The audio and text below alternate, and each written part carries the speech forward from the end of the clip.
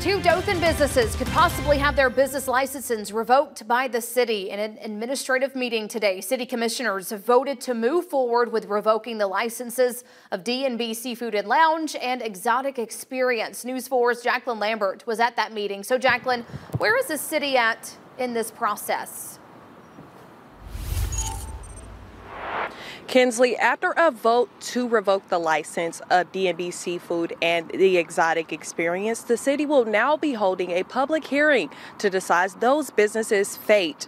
Interim City Manager Randy Morris says this is because of several violations by both businesses.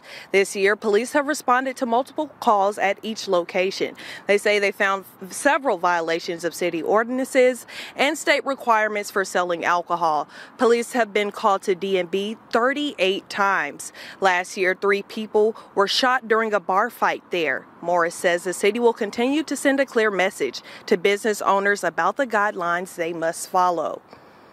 We want people to do business the right way, and usually by the time we get to the recommendation of revoking a business license, there's more than ample evidence that the business is not doing business properly.